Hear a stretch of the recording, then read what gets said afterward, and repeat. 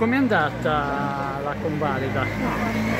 È andata come, come mi aspettavo, nel senso che Tadini ha risposto a tutte le domande del giudice del PM le mie, ha chiarito alcuni aspetti importanti ha eh, sostanzialmente confermato con delle specificazioni quello che aveva dichiarato al procuratore capo l'altra sera.